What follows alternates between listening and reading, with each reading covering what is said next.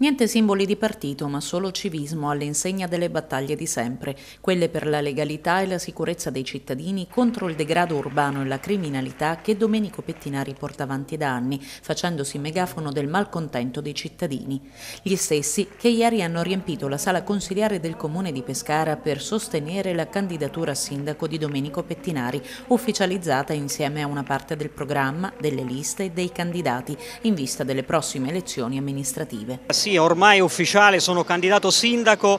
di una coalizione civica indipendente, equidistante e slegata dai partiti, come alternativa credibile a tutto ciò che c'è nella città di Pescara, perché io ritengo che i partiti di centrodestra e centrosinistra che hanno governato per anni, per anni questa città e che non hanno fatto bene, ormai è arrivato il momento che si prendano una pausa, si mettano a riposo e diano la possibilità a chi l'ama davvero questa città di poterla governare. Io ormai da 4-5 mesi che sto facendo con la mia squadra, una squadra coesa e granitica, il vero porta a porta stringente stringendo migliaia e migliaia di mano, parlando con tantissimi cittadini e i cittadini mi dicono se ti candidi, indipendente, equidistanti, torneremo a votare dopo tanti anni. Ecco, a riportare al voto l'astensionismo è la più grande vittoria della mia vita. Oggi qui ci sono tantissimi cittadini, nonostante il tempo non sia clemente, c'è pioggia, c'è neve, eppur sono venute centinaia e centinaia di persone. La risposta è positiva, c'è tanto entusiasmo ma soprattutto tanta speranza riposta in noi. Abbiamo messo attorno un tavolo oltre 75 persone che che stanno scrivendo il nostro programma. A breve